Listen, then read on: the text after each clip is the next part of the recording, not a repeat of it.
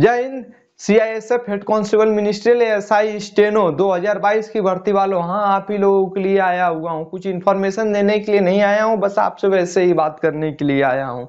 क्या है कि 2019 का जो रिटर्न हुआ था, उसका रिज़ल्ट आ चुका है सीआईएसएफ का।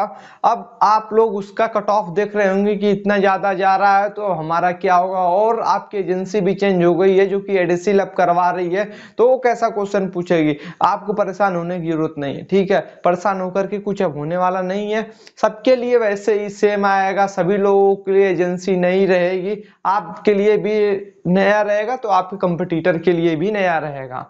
तो अभी आपके लिए क्या है कि आप बढ़िया से अपना तैयारी करिए, जैसे reasoning math English GK GS को कवर करते रहे हैं उसी तरह से कवर करिए।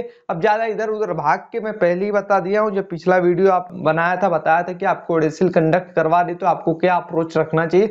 वैसे जैसे है, आप उसी तरह लेकर के चलिए। कुछ अलग से मतलब बहुत ज़्यादा थोड़ा सा चेंज करेगा, पूछने का तरीका और ज़्यादा कुछ नहीं होने वाला है। अब आपका वही चार पाँच दिन में आपका एग्ज़ाम होने वाला है। तो आप जाइएगा, बढ़िया से एग्ज़ाम दे करके आइएगा, जो भी होगा। आपकी जो आंसर की है, तीन से चार दिन में आ जाएगी। जैसे आप मान लीजिए आपका तीस तारीख को पेपर है तो आपका तीन, चार चार या पाँच तारीख के लगभग में आपका आंसर की आ जाएगी। ठीक? फिर उसके कुछ दिन बाद आपका रिज़ल्ट भी आ जाएगा। पहले आंसर की तो आ जाने दीजिएगा, फिर अपना आप मिला करके उसी हिसाब से तैयारी करिएगा। जितना भी फॉर्म आ रहा है, आपके लायक है, भरिए। लिमिटेड फॉर्म को भरिए, तैयारी को कंसंट्रेट करके रखिए। इसमें आपको ऐसा लगता है कि हाँ मैं इसमें बहुत अच्छा परफॉर्म कर सकता हूँ, उस फॉर्म को तो बिल्कुल ना छोड़िए, बाकी मेहनत करते रहिए, ठीक है? डिमोरलाइज नहीं होइए। हम भी आप ही की तरह हैं, हमारा भी पूरा रिजेक्शन रिजेक्शन रिजेक्शन होते जा रहा है।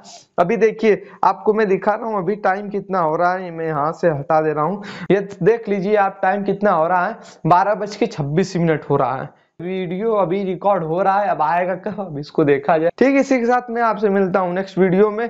आईटीबीपी का रिज़ल्ट आपका असम राइफल का, यस आपका सीएसएफ का बना रहा हूँ। बाकी आगे जितना भी आते रहेगा, आपको बताते रहूँगा। आप तैयारी में लगे रहिए। बहुत कम समय मिल पाता है कैमरे के सामने खड़ा होने के लिए। सो फॉर जय हिंद, जय भारत।